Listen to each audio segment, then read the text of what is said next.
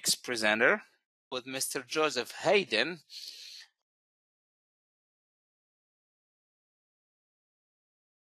Thank you, Adam, and uh, all the guys at EM Works for this opportunity to uh, present.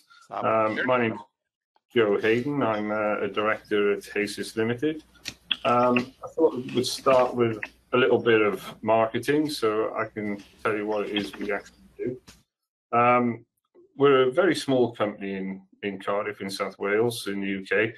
Um, and we develop uh, bespoke electronic and software development for various customers. Um, that includes communication systems um, and direction finding systems for airports, and that's the subject of uh, what I'll be talking about uh, today. We also are involved with um, the electricity distribution network and some of the monitoring at the low voltage side of that.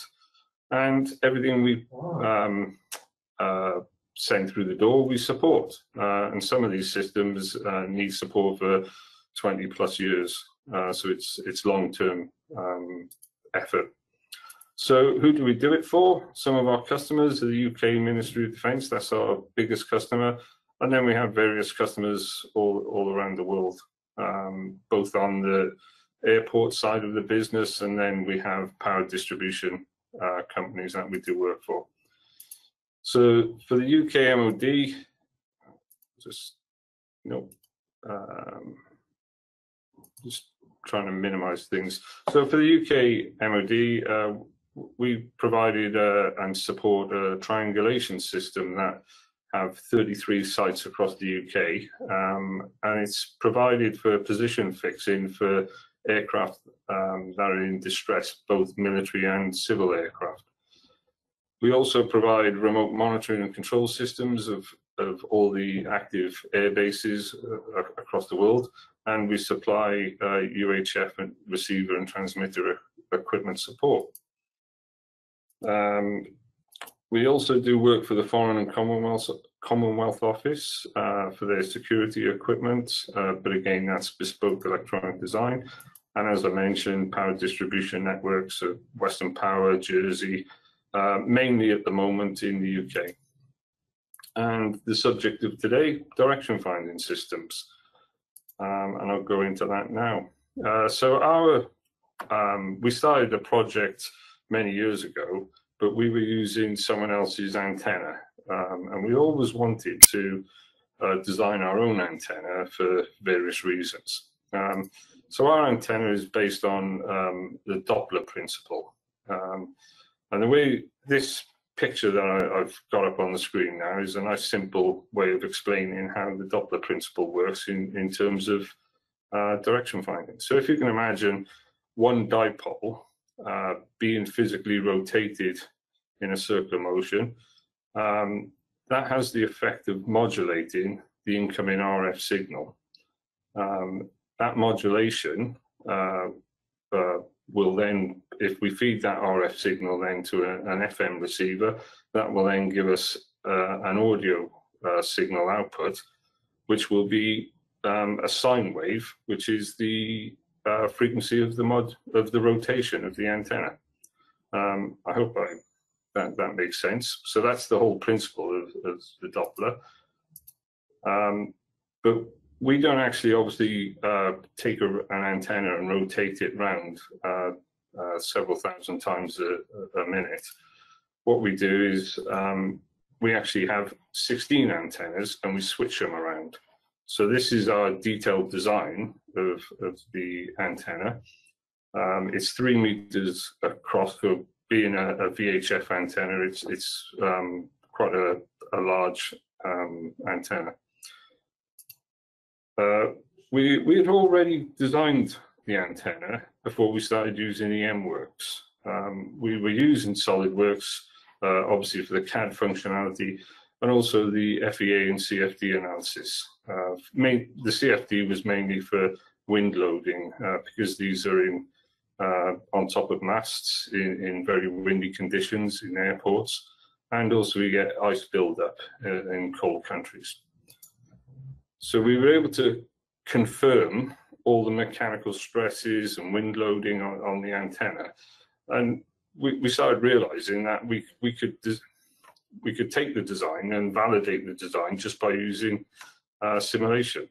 But what we wanted was then an RF-based solver, and we started looking at, uh, around the market to see was there anything available. And of course, oh, sorry, we came across um, EM Works and HF Works. Um, so after long discussions with Adam to, to get the software, um, we, we finally got the software and we started using it. So we started off um, quite small with our just a single dipole antenna. Uh, the dipole um, operates uh, in the aeronautical VHF band, which is 118 to 137 megahertz. Um, we then uh, modeled it with a 50 ohm lumped port, which you can just see inside there. Um, and then we were able to um, mesh it and run the simulation and see some results. So we got a polar uh, plot. We, we saw our frequency response, um, and we were quite happy to see that it's it's roughly in, in the middle of the band of interest. So one of the things that we were then interested in was that that's one dipole, but what happens when it's 16 dipoles with all the different arms and it's all metal um, made of aluminium. So what impact is that going to have um, on, on the performance of the dipole or the single dipole that's uh, rotating around? So the first problem we, we came across, we couldn't mesh uh, the, the existing SolidWorks design. There was just too, too much detail, too many elements um, being produced by the mesh. Um, and the, the simulation was just taking far too long. Um, so it became very clear that we had to simplify um, the design. So this is what we've finally came up with. And as you can see, it's at first glance, you could say, well, that's the same antenna, isn't it? Uh, but you can see that the dipole boxes have all been removed. Any screws or anything with a thread, anything, any small geometry has been removed. Um, then we were able to get a reasonable mesh. Um, and then from that, we were only seeing uh, just over a quarter of a million mesh um, elements, whereas previously we were seeing over 10 million uh, elements. So then that brought us to the study. So this was our um, simplified uh, design. And we could see that the frequency response was still pretty much in the, in the center.